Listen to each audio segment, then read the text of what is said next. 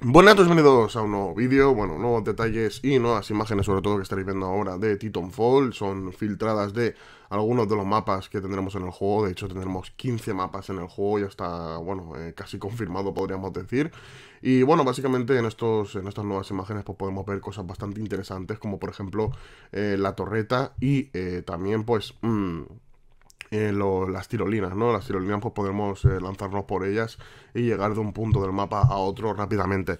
Básicamente las torretas lo que harán es matar a todo tipo de, cosas, tanto titanes como eh, enemigos normales, básicamente. Matarán a, a todo.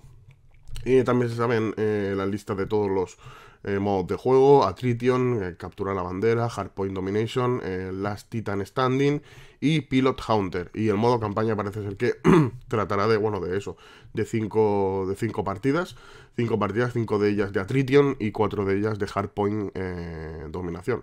Así que estos son básicamente los nuevos detalles que, se conocen, ¿no? Eh, todos los modos de juego, todos los... Eh, que serán 15 mapas y como veis, pues ahí tenéis una recopilación de unos cuantos que ya eh, se, ven bastante chulos.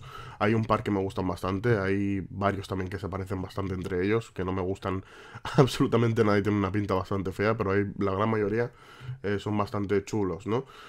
también podemos ver en una de las imágenes el modo generaciones, que será algo así como el modo prestigio que hemos estado viendo en los anteriores Call of Duty y bueno, en otro, en otro tipo de juegos también, que también hay prestigios.